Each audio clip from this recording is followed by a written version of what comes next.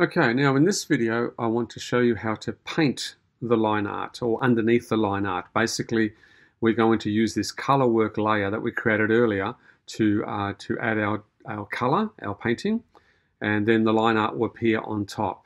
So the main thing to remember, you need to select the color work layer, make sure that's selected, uh, and then of course select your brush tool.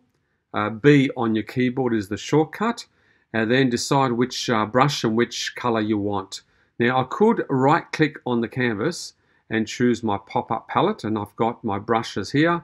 Uh, this is a wet brush, a wet paint brush. Uh, or I could choose it from up here. It doesn't really matter. Uh, and the same with the color. I can choose the color from up here.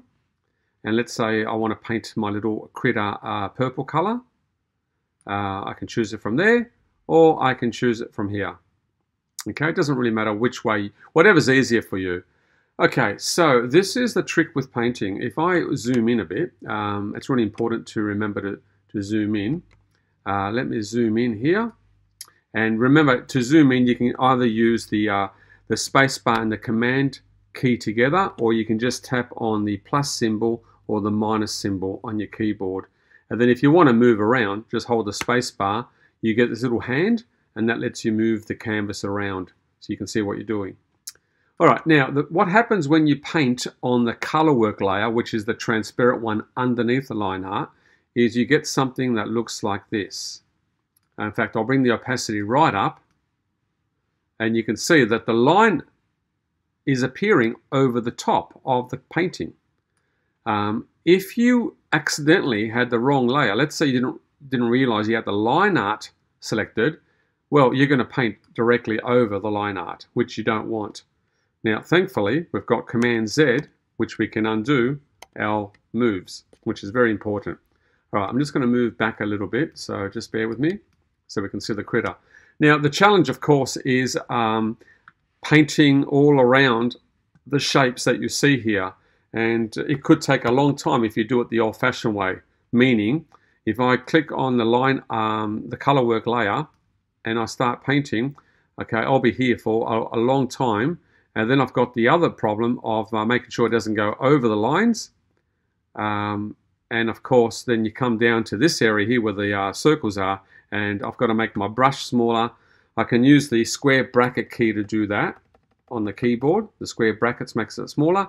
Or I can go up here and choose the size thing here. Or I can right click and choose the size of my brush uh, here. So there's lots of ways you can do it. But um, yeah, you can appreciate this is going to take a long time. So I'm just going to undo that and go back to normal, back, back to the beginning. There is an easier way, and that is using a selection tool. Uh, now, the way this works is you select an area that is closed off. Uh, this only works if the area is closed off, it's a closed shape.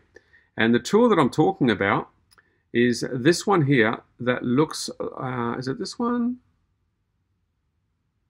Yeah, I think it's this one here. The one that looks like a, um, a sparkler.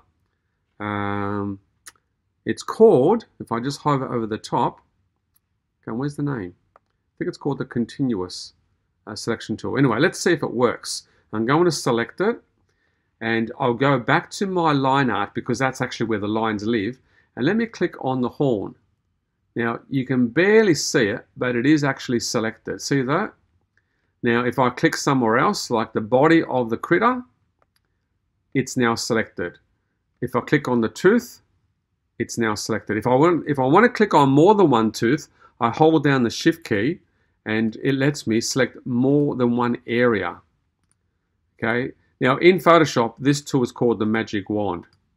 So let's just say I've selected all the teeth and I want to turn them white or another color. You have to remember, after you've selected an area, you have to remember to go back to your color layer. And then you choose the color that you want. In this case, it's white, maybe an off-white. And then I can fill that by going either to the edit menu and choosing fill with foreground color um, let's make it wider than that. Okay. Uh, I can either go fill with foreground color or I can uh, press Shift Delete, that'll do it.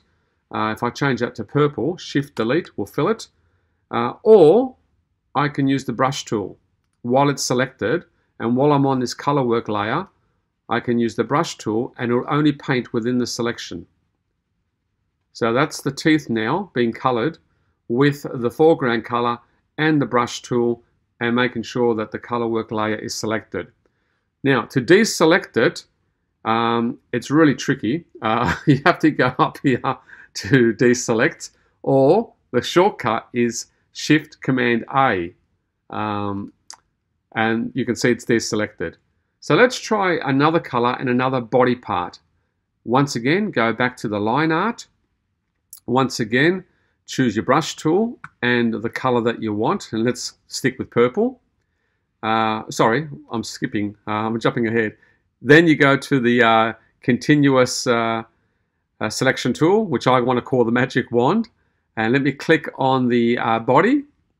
Okay, and I don't know if you can see, but I've actually selected all the body minus the little circles. And if I zoom in, you'll see what I mean. Um, you can see that the selection is actually going around the circles. So I can trust that Krita has selected just the body. And now I go back to the color work layer. I've got my color purple, get it in the right order con, brush tool, and I can either go and fill it with the automatic uh, option here, fill with foreground color, or I can go shift delete, command Z, or I can paint it with my brush tool and I'll make it nice and big and watch this. Um, now this is the wet paint, so it's a bit it's a bit weird this uh, this brush. Uh, let me change brush. I, am not really ha happy with that one. Let's go for a chalky one. Okay, and uh, full opacity. Okay, so now what it's doing, it's uh, it's painting within the selected area because I've still got it selected. Okay, so now I'm painting uh, my flat color and I'm happy with that. So I've got my teeth, I've got the body part um, in a purple and now I can deselect it. Or not, maybe I want to keep it selected and maybe um, I've got more coloring to do. And let's, let's just try something. Let's go in here and change that to a green uh, let's go for this type of green. Let's bring the opacity down and let's see what happens when I add a little bit of green to the side of the critter. Okay, you can sort of see it's changing color. Let's change that to a yellow. And here we go. We're having fun. Now it's still selected, so that's why it knows to paint within the area. And uh, this is the chalky brush. And of course, you've got to experiment with this because uh, depending on the brush that you use, you're going to get a different uh, result, a different pattern. Okay, now let's bring in some red. I just feel like bringing in some red right now. Uh, what I like about the chalky brush, and again, combined with the opacity, uh, it gives you that sort of really hand-painted, um, really handmade feel. So now you've got a combination of purple, yellow, green and um, red. And if you want to change your uh, paint at any stage, uh, your paintbrush, by all means, you can go from one to the other. Let's see what, um, whoop, that's too dark, sorry, Command Z. See how popular Command Z is? Okay, this is called the wet bristles. Uh, maybe that's too light. Let's just try that. Uh, let's go for a real obvious change. I'll choose this cyan blue. Okay, and uh, bring the opacity back up a little bit. All right, I don't know if you can see what's happening. There's a bit of blue coming in now. So I'm just having a bit of fun with this selected area. Now, if for some reason I have deselected, let's say I've accidentally gone deselect, um, I can't select it again with the magic wand. It's almost impossible because you can see what's happening. It needs to be a flat area. Uh, I can go back to the line art and select it again that way, and now switch back to color work. Or the other way I can do it is, um, I'll just deselect that. I can actually uh, select nothing at all. And if I hide, if I hide the, li the line art layer, you can see that's the painting that I've done. That's just by hiding the line art. Do you remember the alpha channel lock that we did with the apple? if you switch that on, that's the alpha channel, um, it'll only let you paint within that, that area again. So if I change my color, uh, oops, not gradient, hang on, sorry. Let's go for, uh, let's go for a really light um, creamy green. Yeah, there we go. So if I start to paint, because I've switched on the alpha lock with this thing here, it'll still only let me paint within the selected area. So whatever was um, painted before, it'll only let me paint within that, which is pretty good. If I, if I didn't have that on, then of course I'm going to paint outside the area, which you don't want to do. So there's a few things to remember there, but have a bit of fun with that. Uh, open up the, uh, the layer with your Critter outline drawing and have a practice in colouring it in. And I'll talk to you a little bit later on.